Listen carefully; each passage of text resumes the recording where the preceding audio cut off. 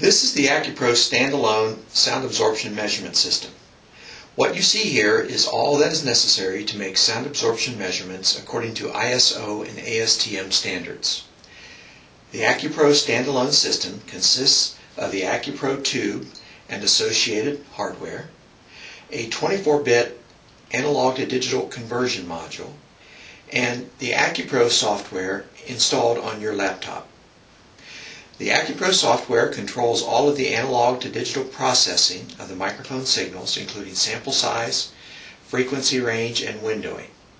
An output channel is also available which controls the ACUPRO sound source.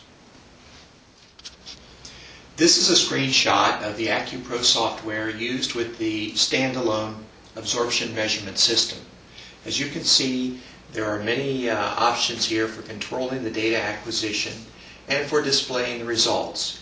Here we see the transfer function, magnitude and phase versus frequency, for the two microphones for the current test.